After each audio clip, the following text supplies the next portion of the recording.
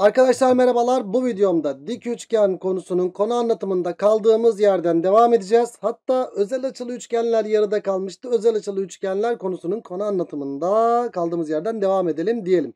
Sayfa numarası da 32'deyiz. 32'nin böyle sağ taraftaki son iki sorusundayız arkadaşlar. Evet şu soruda kaldık. Hadi bakalım şu soruya bakalım. Hocam ne yapalım burada? 60'ı gördük. Hop bir dik çizelim. Yapma. Ne var burada? 15, 75, 90 var. Gittiğin yol yol değil. E sildik. E o zaman hocam ne yapacağız? Bakalım şurada açıyı bulalım. E 60 burası kaç yapıyor? 105 yapıyor değil mi arkadaşlar? Evet. Ben buradan dik çizdim olmadı. Buraya dokunamam. Şuradan dik çizsem ama hocam buradan dik çizince de 15, 75, 90 çıkıyor. Hatta buradan e, çünkü burası 75 derece. Hadi sen 60'a dokunmadın diyelim. Buradan da bir tane dik çizsen yine 15, 75, 90 mı çıkıyor? Aa evet hocam. Vallahi hocam buradan da dik çizsem, buradan da dik çizsem, C'den de dik çizsem hep 15 75 90 karşımıza çıkıyor. Ne yapacağız hocam ya burada? Ya dik çizmeyle demek ki bir şey yapamıyorum arkadaşlar burada. Dik çizerek sonuca ulaşamayacağım o zaman burada. Bir şeyler yapmalıyız. Bir şeyler düşünmeliyiz. Hokus pokus. Hop şuraya bir not düştü. Neymiş? Son çare arkadaşlar. Son çare. Özel açıda son çare. Tamam kalbi malbi düşünüyoruz. İki dik çizme mantığını düşünüyoruz. Kendi emeline dik çizdiğinde 15, 75, 90 çıktıysa gittiğin yol yol değil. Hala aklımızda. Ama baktım bunlarla da bir alt olmuyor. O zaman son çare notuna dikkat edeceksin. Son çare notu ne diyor? Dik çizerek özel açı oluşturamadığımız durumlarda küçük açıya ait ikizkenar oluştur diye bir not yazmışım. Hatta oluşturamadığın durumlarda yazayım. Oluşturamadığın yazayım şuraya. Evet tekrar söylüyorum. Dik çizerek özel açı oluşturamadığın özel açılı üçgen, özel açılı üçgen oluşturamadığın durumlarda küçük açıya ait ikizkenar oluştur. Çok güzel bir yöntemdir. Ve bazı açı sorularında falan gerçekten hayat kurtarıyor. Hocam dik çizerek bir şey yapamadım. O zaman küçük açıyı belirliyorum. Küçük açı hangisi? Hop 15. Buna ait ikizkenar oluşturacağım. Peki ikizkenar oluştururken hocam buradan mı oluştursam? 60'ı niye biliyorsun kardeşim? Ne iş? Hayırdır? 60'ı bölme. O zaman şuradan böyle bir ikizkenar oluşturayım. Bak oluşturdum ikizkenarı. Hop 15. Aa hocam ikizkenar 15 15. İki iç açının toplam bir dış açı 30. Ara 30 60 90 üçgeni çıktı gördün mü? İşte bu güzel yöntemle de özel açı oluşturabildiğimiz durumlar var arkadaşlar. Ama ilk seçenek tabii ki dik çizmek. Oluşturamazsan küçük açıya ait ikizkenar oluştur. Evet burada 30 60 90 üçgeni çıktı gençler. Hadi bakalım 30 60 90 üçgeninden devam. 30'un karşısı 6 ise 60'ın karşısı nedir? 6 kök 3'tür. Hocam ikizkenardan dolayı burası da 6 kök 3'tür. Hocam 30'un karşısı 6 ise 90'ın karşısı bu arada 12'dir. Aa burası isteniliyor bizden. Demek ki x kaç birimdir arkadaşlar? 6 kök 3 artı 12 birim yaptı. Bak şu kadar saçma bir cevap bile çok kolay bir yöntemle bulduk arkadaşlar. Süper bir şey değil mi? Geldik şuraya. İşte hocam 15 75 90 15 75 90 ne kadar iğrenç bir 90'mış değil mi? Evet siz de bu zamana kadar Allah aşkına siz e, hep böyle 15 75 90 özelliğini araştırmadınız mı arkadaşlar? Çünkü 15 75 90 olduğu soruları yapamıyordunuz. Araştırma yoluna gittiniz ve özellik aradınız. Hatta şöyle şu özelliği ezberleyeniniz biri oldu. Hocam 15'in karşısından 75'in karşısına geç 2 artı kök 3 katı dediniz. Ya ezberlemeye gerek yok. Bak ezbersiz yapacağız. 15 75 90 özelliği var. Biraz sonra geleceğiz ona. Arkadaşlar burada 15 75 90 üçgeni. Valla direkt hala hazırda var. Gittiğim yol yol değil diye bir şey yok. O zaman bir şey yapacağım. Dik çizsem hocam dik çizsem bile yine 15 75 90 çıkıyor. O zaman dik çizerek 15 75 90 oluşturam e, oluşmuşsa ya da dik çizerek özel üçgen oluşturamazsak ki oluşturamıyoruz burada. Küçük açıya ait ikizkenar oluşturacağım. Küçük açı hangisi? 75. Ee, pardon 15. 15'e ait ikizkenar oluşturacağım. 90'dan mı? Ya ne münasebet. 75'i parçala kardeşim. Biz 75'ten kurtulmaya çalışıyoruz zaten. Hadi 75'e şey yaptın 15'leri çizdin. Aa hocam 2 iç açı bir dış açı 30. 30 90 ise burası da 60 çıktı. Bak 30'un karşısı 4 60'ın karşısı 4 kök 3. 30'un karşısı 4 ise 90'ın karşısı 8. Oo 8 ise 8. Ne çıktı burası? 4 kök 3 artı 8 gibi saçma bir cevabı yine kolay bir yolla bulduk. Bak 15'in karşısı 4 ise 75'in karşısı 4'ün 2 artı kök 3 kat diye bir özellik var. Gerçekten 8 artı 4 kök 3 yapıyor mu? Yapıyor. Özelliğe gerek var mı? Şurayı meşgul etmeye gerek var mı? Kesinlikle ama kesinlikle yok arkadaşım. Evet. Bu sorumuzun cevabı da 4 kök çarpı 8 oldu. Anam 67,5 ne ya? Hiçbir özel açı değil. Demek ki şey yapamayacağız. 67,5 90. Burası kaç yapıyor? 22,5. Böyle de bir özel üçgen var arkadaşlar. Ama şuradaki kenar isteniyor. Vallahi dik çizerek özel üçgen oluşturamadığımız sorularda küçük açıya ait ikizkenar oluşturacağız. Hocam ne? 67,5'u parçalayacağız tabii ki. Çiz buradan bir ikizkenar. Hocam 22,5 çizdim. 22,5 22,5 45 yaptı. 45 90 ise burası da 45 yaptı. Aa ne çıktı bak. Şunlar ikizkenar çıktı. Hocam 45 45'ten dolayı 6 ise burası da 6 oldu. 6 6 iken burası 6 kök 2. Hatta burası da 6 kök 2. Oba şuraya bakıyorum. X uzunluğu neye eşit oldu? 6 artı 6 kök 2'ye eşit oldu arkadaşlar. Çok güzel çıkıyor arkadaşlar. Aha geldik 15 75 90'a. Evet gençler geldik 15 75 90'a. Şimdi bunun bir özelliği var mı? Var. 15 75 90 hali hazırda gelmişse özellikle üçgende alanda çok haşır neşir olacağız diyeyim ben size. Arkadaşlar burada karşımıza 15 75 90 çıkmışsa da bir tek bir özelliği var o da haşa 4 haş. Tamam başka bir şey yok. Aşağı 4 haş. Kolay bir özellik nereden geldiğini göstereyim. Hocam burada ispat yapacak olursak bak burada da 15 75 90 var. 15 75 90 burada da 15 75 90 var. Hocam büyükte de var. Hani biz küçük açıya ait ikizkenar oluşturma yöntemi diyoruz ya. Büyükte böyle ikizkenar oluştursak çok saçma olduğu belli. Şurayı bölüyoruz zaten. Bölmeyeyim. Hocam burada yapsam vallahi burada küçük açıya ait ikizkenar böyle aşı bölüyorum. Bölmeyeyim. E burada yapsam şuradaki 15 75 90'ı düşünsem arkadaşlar. Şuradaki 15 75 90'ı düşünsem. O zaman burada bir şey oluşturayım arkadaşlar. Şöyle bir ikizkenar çizsem. Bak bak bak olaya bak. İkizkenar çizdim. Hocam 15 ise burası da nedir? 15. 2 iç açı toplam bir dış açıdan 30 yaptı. Burası da 60 yaptı. Aa hocam burası bu arada 75 yaptı. Aa 75'e 75 ikiz kenar. Şurası da eşit oldu. 30'un karşısı H'sa 90'ın karşısı nedir? 2H'tır. Aa burası da 2H. Aa burası da 2H. Aa toplamda 2H 2H 4H yaptı arkadaşlar. Gördünüz. Olay bu. Ha bazı arkadaşlar direkt hocam muhteşem üçlü çizeyim deyip oradan da çözüm yapabiliyor. Sıkıntı yok. Ben size ispatını da gösterdim. Bu şekilde ispatı arkadaşlar. Haşa 4H diye bir şey var. Niye ispatını gösterdim? Ya 22,5 67,5 90 üçgeni gelirse bunu da mı ezberleyeceğim? Ben olsun. Ben ezbere bilmiyorum mesela. Ya dur bakayım zorlasam bulurum ya. Zorlasam derim ya. Haşa 2 kök 2 H diye. Ama ciddi hiç ezberlenmiş halini sorularda kullanmadım. Hep ispatını kullandım. Ya sen tamam 15 75 90'ı bil de en azından 22,5 67,5 90 üçgenini bilme kardeşim. Yani haşa 2 kök 2 H demişiz ama ne yapacaksın? Hop bir muhteşem üçlü çizsen olay çıkacak zaten. Ya da işte küçük açıya ait ikizkenar oluşturma ispatıyla ilgili. Değil mi? Şu üçgende biraz önceki gibi. Yani burası 22,5. 2 iç açı bir dış açı 45. Aa burası da 45. H H'sa burası H kök 2 yaptı. H kök 2 yaptı. E hocam burası da H kök 2 ya da kök 2 H. E hocam burası da kök 2 H. Toplamda 2 kök 2 H mi yaptı? Evet. H'a 2 kök 2 H. Ama ezbere bilme. Boş ver. 15 75 90'ı bil ama kullanıyoruz. Evet gençler. Bakın. Videonun başından beri küçük açıya ait ikizkenar oluşturma ile ilgili bak burada şu özellikleri de ispatlamış olduk. Evet geldik şuraya. 30 45 kaç yaptı? 75. Ha. Burası kaç? 15. Kendi emeğinle dik çizdiğinde karşına 15 75 90 çıkarsa gittiğin yol yol değil ama 15 75 90 gelmişse haşa 4 taşı kullanacaksın. Hocam neresi 15 75 90 üçgeni? Aha burası. E, bu üçgende ben haşa 4 taşı kullanacağım. Ne yapayım hocam? Bak zaten yükseklikte verilmiş. Yani şurası da verilmiş.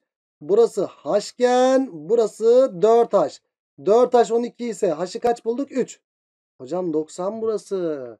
Bak 90 45 burası da 45 yaptı. Burada bir dik üçgen çıktı. Yani burası ikizkenar dik üçgen. 3. 3 ise burası kaç yapar? 3 kök 2 yapar arkadaşlar. Evet bu sorumuzun cevabını da böylelikle 3 kök 2 olarak bulduk arkadaşlarım. Geldik şuraya. ne verilmiş? Paralellikler 15 75 bir yazayım. E, 75 90 ise burası da 15. Hocam şununla şu paralel verilmiş. 75 ise önündeşlikten 75 75 15 ise burası 90 oldu. Hocam burası da 90. E, tamamı 90 olduğundan burası da 15. 15 90 ise burası da 75 yaptı. Hocam hatta burası da şununla da şu paralel ya 90 ise Z'den dolayı burası da 90 diyebiliriz. Aa çıktı. Hocam şurası 2 vermişler. FD uzunluğu bak. Şuradaki uzunluk 2 verilmiş. Hocam zaten şuraya baktığım zaman şu 15 75 90 üçgeni. Haşa 4 taş değil mi? Evet. Yani 2 ise burası kaç yapacak? 4 katı 8. Aa hocam büyük de 15 75 90 üçgeni. E, haşa 4 taş olacak. O zaman burası da 4 çarpı 8'den kaç yapar? 32 yapar. Bizden de VC isteniyor. Cevabımız 32 oldu arkadaşlar. Geldik bir sonraki soruya. Hmm, tamam 15 75 90'lar 90'lar artık hikaye bitti. Artık şuna geldik. Biraz da yeni nesil sorulara geldik arkadaşlar. Dikkatli bir şekilde dinle. ABC bir eşkenar üçgen. K eleman BC. K rastgele bir nokta. Ali Kara uzunluğunu 6 vermiş. K noktasının AB'ye göre simetri hani dedik ya katlamalarla uğraşıyoruz ama katlama yerine simetride sorulabilir diyoruz. Çünkü ÖSYM dil değiştirdi. Biraz kibarlaştı. Kabalaşabilir de belli olmaz. Arkadaş burası 6. Şimdi dikkat et. K noktasının AB'ye göre simetri demiş. K noktasının AB'ye göre simetri demek şurası demek. Yani şuradaki nokta dik olacak ve birbirlerine eşit olacak değil mi? Şöyle dik ve birbirlerine eşit. Ve buradaki nokta M noktasıymış. Sonra diyor ki K noktasının e, AC'ye göre simetri de neymiş? AC'ye göre simetri de yine dik olacak. Şurası 90 ve şunlar da birbirine eşit olacak. Burası da N noktasıymış. Senden ne isteniyor kardeşim? Senden istenilen şu. MN uzunluğu. Tamam. Çizince çok karışık oluyor. Dur bakayım MN'ye sonra bakalım. Arkadaşım burada bunu yazdık. Bunu gösterdik. Soruya bakıyoruz şimdi. Bu nasıl bir üçgen? Eşkenar üçgen. Açıları yaz bakayım. 60, 60, 60. Tamam. Aa şimdi arkadaşlar şuraya baktığımız zaman bak yüksekliğe ayrı bir gözle bakıyorduk. Dik tabanı iki eş parçaya bölmüş. Dik tabanı iki eş parçaya bölünce aklınıza ne geliyordu? Dik tabanı iki eş parçaya bölmüş. Aklımıza ikizkenar geliyordu. O zaman aklımıza gelen başımıza gelsin. Hop oluşturduk ikizkenarı. Yüksekliğin kollarında ikizkenar olacak. Hocam 6 ise burası da 6 olur. Sayı değeri burada olduğu için buradan da oluşturabilirdik ama burada bir sayı yok ya. O yüzden buradan oluşturmadık arkadaşlar. Hocam burada da dik taban iki eş parçaya bölmüş. Aklına ne geldi? Yine ikizkenar geldi. E, başına gelsin artık değil mi? E hocam bu ikizkenar da bak eksik parçaları unutma. Bu bir açıortaydır. Hocam bu ikizkenar da 6 ise 6'yı yazdın ama bu da bir açıortaydır. A buraya kafadan yapalım isterseniz. A A B B diyecek olursak A artı B 60 ise 2 artı 2 B 120 mi olur? Evet. Şuraya yine de yazayım. A A B B. E, 2A artı pardon A artı B kaç? 60. 2A artı 2B kaç yapar? 120. Çünkü burada 2 artı 2B var. Yani sen artık burada kaçı? 120 buldun. Senden ne isteniyor genç? MN uzunluğu. Hop çizdin. Aa ne oldu? Hocam MN'yi çizince burada kaçı 120 derece? 120 ikiz kenarlık da var burada şöyle bakınca. 120 bunlar da 30 30 oldu. E 30 30 120 üçgeni. Yani 30 30 120 üçgenin özelliği 6 6 ise burası da 6 kök 3 yapar mı? Yapar tabii ki. MN uzunluğu dolayısıyla 6 kök 3 çıktı arkadaşlar. Evet bu sorumuzun cevabı 6 kök 3 oldu. Geldik bir sonraki soruya. Bir katlama sorusu. Eşkenar üçgenmiş bu. Hocam eşkenar üçgen açıları bir yazalım. 60 60 60. Şimdi eşkenar üçgen biçimindeki ABC üçgeni BC doğru parçasını K noktasında kesen bir doğru boyunca katlandığında BC doğru parçasını BC doğru parçasını BC doğru parçasını K noktasında kesen bir doğru boyunca katlandığında B noktası D'ye geliyormuş. D eleman ha D eleman AB. Arkadaşlar katladığınızda B noktası aynı doğru üstünde gidiyorsa o zaman bizim katlama işlemimiz nasıl olacak? Aynı doğru üstünde olacak ya. Katlama çizgimizle bu doğru dik kesmek zorunda. Çünkü onu daha önceleri de bile beri söylüyoruz. Yani şu şekilde katlama çizgisi bu olmak zorunda arkadaşlar. Katladığında aynı doğru üstünde gitsin diye. Niye böyle bir soru sordum onu da söyleyeyim arkadaşlar. Şimdi katlamanın hep katlanılmış hali karşımıza çıkıyor. ÖSYM 2021 sorusuna baktığımız zaman katlamada uç noktaya geldi. İki defa katladı. Biraz zor bir soru sordu.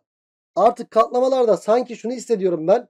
Katlanıldığında deyip katlanılmış halini sizin hissetmenizi isteyebilir. O yüzden böyle sorularda iyi olur. Peki ben bunu böyle katladığımda katlanmış halde D'ye geliyormuş. Arkadaş katlanmış hali D'ye geliyorsa hop katlanmış hali şu şekilde oldu mu arkadaşlar? Şu üçgeni böyle katladığımızda şu üçgen. Katlama çizgisi bu.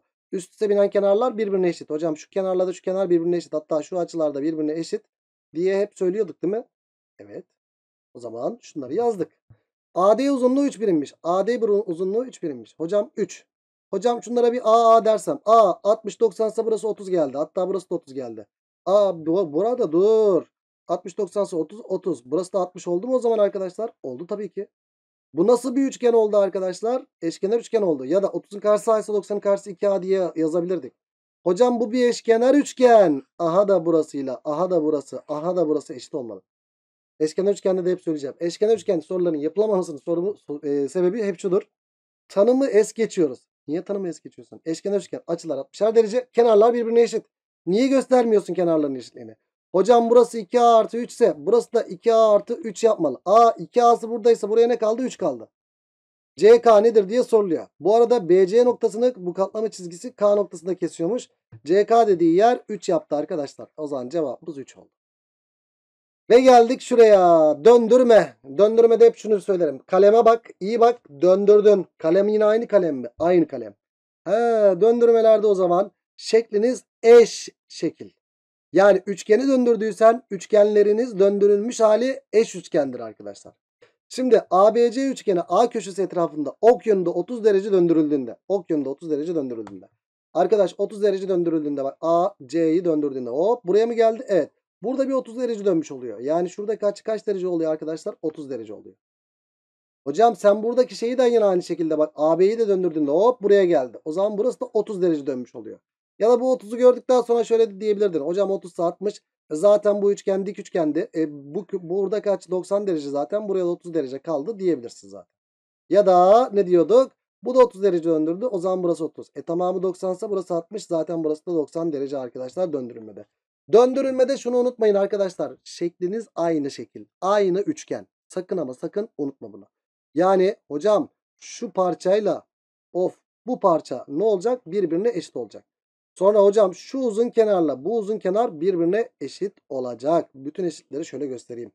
Peki şimdi A 30 30 120 çıktı. Hocam burası da 120. Hocam bu 30 60 90 üçgeni ya.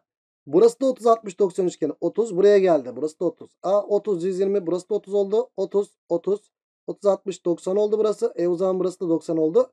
Hocam e, zaten bu 30 60 90 üçgeniydi ya da 30 90 ise burası da 60 oldu. Bizden KC üssü neredesin KC üssü? Şuradaki uzunluk ve B üssü M'ye gideceğim. Şuradaki uzunluğa gideceğim. Arkadaş şuradan başlayayım ben. Şuradan başlayayım. Oran isteniliyor ya. Bak şuradaki oran. Oran isteniliyor ya. Şöyle yapalım. 30'un karşısından başlayayım. 1 diyeyim. 30'un karşısı 1 ise 90'ın karşısı kaçtır? 2. Hocam şu kenarla şu kenar birbirine eşit. Hocam hatta 30'un karşısı 2 ise 60'ın karşısı 2 kök 3. Hocam burası 2 kök 3 ya. Bak 2 kök 3 diye yazdım. Tamamı 2 kök 3 yalnız dikkat et. Hocam zaten bu kenarla bu kenarda birbirine eşit. Burası da 2. Aa şurada bir şey çıktı. Fark ettin mi? 30 30 120 üçgeniydi zaten bu. 30 30 120 üçgeninde bak bunun tamamını sen şey buldun. Bunun tamamını 2 kök 3 olarak buldun zaten. 30 30 120 üçgen olduğu için bu A A ise A kök 3'tü. Yani kök 3'e bölünmüş hali 2 2 yapar. E tamamı 2 kök 3 ise burası da 2 ise buraya da 2 kök 3 eksi 2 kaldı. Hocam burada da 30 30 120 üçgeni var. E buradakinin de kök 3 katı. Yani burası da 2 kök 3 eksi 2 olur. Şunlar birbirine eşit olur. Bunun da kök 3 katı burası yapar. Yani sen 2 kök 3 eksi 2'yi kök 3 ile çarpsan hop çarpsan burası kök 3 ile kök 3 çarpı 3 3 kere 2 6. 6 eksi bununla bunu çarpsan 2 kök 3 yaptı. Burası 6 eksi 2 kök 3 yapar arkadaşlar. Şuradaki uzunluk. E zaten buraya da 1 demiştik arkadaşlar. Bakın bizden ne isteniyor şimdi? Bizden şu isteniyor. KC üssü şurası 6 eksi 2 kök 3 bölü B üssü M. Yani 1 isteniyor. Yani cevabımız 6 eksi 2 kök 3 yapar arkadaşlar. Oran istenildiği için K diye başlamadım. Normalde K diye başlamamız lazım. Ama oran istenildiği zaman oranlarda da K'lar birbirini götüreceği için hiçbir şekilde şey yapmadık arkadaşlar. evet güzel bir döndürme. Bak döndürme mantığı bu. Yani biz şimdi soru olarak aynısını tutturmak zorunda değiliz. Döndürmenin ben sana mantığını verdim mi? Verdim. Yani senin de böyle üçgen döndürmeyle, dörtgen döndürmeyle ilgili bir soru geldiğinde yorum yapabilecek seviyedesin. Bunu da unutma. Aynı soru tutmayabilir tabii ki. Evet geldik bilardo sorusuna. Pilardo. Ya arkadaşlar artık bu sene şu yansımayla ilgili bir soru geleceğini hissediyorum arkadaşlar. Ee, ya bu sene demeyelim de artık iki sene içerisinde diyeyim. Gerçekten yani bunu bu zamana kadar ÖSYM kullanmadı artık kullanabilir. Sorularımın arasında da göreceksiniz. Birkaç defa daha buna benzer bir soru yazdım arkadaşlar. Bu da çok güzel bir soru bu arada. Şimdi bilardo oyununda topa düz bir şekilde vurulduğunda vuruş yapıldığında top banta yani mas masanın kenarında bant diyoruz arkadaşlar. Top banta masanın kenarına çarptığı açıyla yolu devam eder. Bak burada da örneği göstermiş. Vurduğu açıyla gidecek yani. Siz fizikte bunu nasıl biliyorsunuz? Işığın yansıması. Hani normalle yaptığı açı aynı diye şey yapıyorsunuz. Normali bu ya. Hocam burası beta ise burası da normalle yaptığı açı beta olacak diyorsunuz. Zaten burası 90 ya beta alfa ise burası da beta alfa oluyor. Biz de geometride bunu şöyle kullanıyoruz. Yani bu şekilde daha mantıklı geliyor bana bilmiyorum. Daha doğrusu ben çözümlerinde öyle kullanıyorum. Vurduğu açıyla gidecek arkadaş. Sen de fizikte belki bunu kullanabilirsin. Vurduğu açıyla gidecek. Tamam Evet. Bilardo oyununda şu şekilde onu açıklamış. Şimdi gelmiş buraya. Şekildeki gibi özel olarak hazırlanmış bilardo masasında şöyle bir 30-60-90 üçgeni şeklinde hazırlanmış arkadaşlar. Ee, bilardo özel olarak hazırlanmış bilardo masasında K noktasından BC kenarına paralel bir vuruş yapılıyor. BC kenarına paralel bir vuruş. Bak paralel bir vuruş. Hocam burası 30 burası ne oldu? 60 oldu. 60'ı karşısı kök üstü 30'un karşısı kaç yaptı? 1. Bu arada 60'ı karşısı toplamda burası 6 kök 3. 60'ı karşısı 6 kök 3 iken 30'un karşısı kaç yapacaktır arkadaşlar? Kök 3'e bölünmüş hali 6 yapacaktır. Buraya ne kaldı? 5 kaldı. 30'un karşısı 6 ise 90'ın karşısında nedir arkadaşlar? 12. Eksik parçaları bir koyalım. Şimdi gelelim şuraya. Tamam. 30'un karşısı 1 ise bu arada burası kaç yaptı arkadaşlar? 2 yaptı. Hangi kalem yazsak? Siyahla mı yazsak? Evet burası 2 yaptı. Şimdi adam diyor ki vurduğu açıyla gidecek. Ben topa paralel bir şekilde vurdum. Vurduğu açı 60 ise vurduğu açıyla gidecek. Yani burası da 60 olacak. Hocam bizim ışın devam etsin bakalım. Şöyle geldi. E burası da 60 60 ise burası da 60 oldu mu? Oldu. E burada da vurduğu açıyla gidecek. Şöyle geldi. Bak burada da vurduğu açıyla gidecek böyle. Şöyle vurduğu açıyla gitti. Hocam burada da vurduğu açıyla gittiyse burası da 60 olacak. Aa 30 60 burası 90 oldu. Hocam bundan sonrasında nasıl gidecek? Böyle gidemez herhalde değil mi? Dik vurduysa yenden geri gelecek. Bak böyle geldi, böyle geldi, böyle gitti. Sonra buradan da geriye doğru gelecek. Topa K noktasına vurulduktan sonra top tekrar K noktasına ilk kez geldiğinde K'ya vurdun ya ilk kez gelecek. Bak vurdun gitti. Buraya geldi. Buraya geldi. Buradan geri dönecek. Sonra buraya sonra da buraya gelecek arkadaşlar. Yani bize aldığı yol kaç birimdir diye soruluyor. Şimdi şunlara bakalım. A 60 60 60. Hocam 5 ise burası da 5 burası da 5. Hocam bunun tamamı 12. İyi ki yazmışık o eksik parçaları. Ne kaldı 7. 90'ın karşısı 7 ise 30'un karşısı kaç yapar? 7 bölü 2 yapar. O zaman vurduğu şeye bakalım. 2 gitti 5 gitti 7 bölü 2 gitti. 2 5 ve 7 bölü 2 gitti. Sonra ne olacak arkadaşlar? Buradan geri gelecek. Şöyle gitti ya böyle gitti. Şimdi de geri gelecek. 7 bölü 2 5 ve 2 de gidip 7 bölü 2 5 ve 2 daha gidip e, yeniden K noktasına geldim arkadaşlar. Geldi. İşte K noktasına vurduktan sonra ilk kez K noktasına geldiğinde ne yapıyor arkadaşlar? Şu yolu izlemiş oldu. Yani bu uzunlukları yapmış oldu. Burası kaç? 7. Burası da 7. Burası da 7. 3 tane 7. Toplamı kaç yapıyor arkadaşlar? 21. Yani bizim topun aldığı yol 21 yaptı arkadaşlar. 21 birim oldu arkadaşlar. Güzel bir soru değil mi? Evet. Bu mantıkta da bir soru bekliyorum. Bak yansıma ile ilgili bir soru gördünüz. Aynı sorusu olmak zorunda değil. Yansıma ile ilgili belki farklı bir soru gelecek. Belki açılarda gelecek. Bilemiyoruz arkadaşlar. Ben size bu yansımanın mantığıyla ilgili şey verdim mi? Verdim. Sınavda bu mantıkta bir soru aynısı da gelebilir. Farklı türlüsü de yani aynı mantıkta bir soru da gelebilir. Yani geri kalanı siz uyarlayacaksınız. Ben size değişik bir soru tarzını gösterdim mi? Gösterdim. Böyle bir soru geldiği zaman artık büyük ihtimalle sorularda yaparsınız. İşte deneme sınavlarında falan kitaplardaki soruları yapa yapa böyle kendinizi geliştireceksiniz arkadaşlar. Ve böylelikle dik üçgen konusunda bitirmiş oluyoruz arkadaşlar. O zaman ne diyoruz? Bir sonraki videoda ikizkenar üçgen konusunun konu anlatımında. Görüşmek dileğiyle kendinize iyi bakın. Hoşçakalın.